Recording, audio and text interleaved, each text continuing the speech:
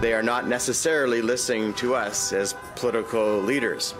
They are not getting vaccinated for other reasons, perhaps. And that brings us here today. It's a new way to attempt to inspire trust in those hesitant to get the COVID 19 vaccine as the province shifts away from super sites to a community level approach. The vaccines are our best way through this pandemic. Premier Goertzen announced an investment of nearly $14 million to the healthcare sector to allow for more one on one patient to doctor time, stating those who are vaccine hesitant are more likely to listen to a doctor they know and trust over a politician. Physicians and pharmacists will be able to develop their own strategies to connect with patients in their homes and communities, building on their local knowledge. To every Manitoban who has not been vaccinated yet, I have a simple message for you.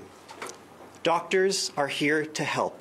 The funding will allow physician offices to develop a roster of their patients who are not fully immunized and support outreach to have those patients come in and have a conversation about their concerns. As physicians, we take the concept of informed consent very seriously.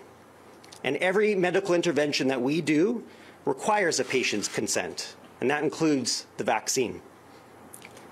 We're here to help each and every Manitoban make an informed decision, and we ask the opportunity to discuss your concerns before you make a final decision.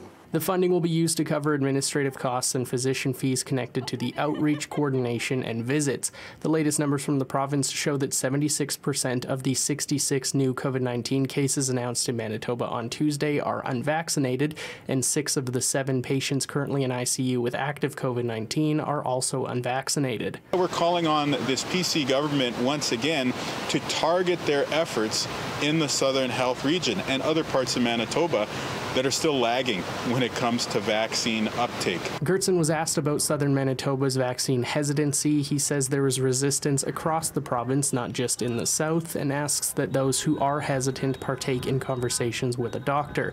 And if they still choose to go against vaccines, do so respectfully. The pandemic won't last forever, but the memory of our behavior might.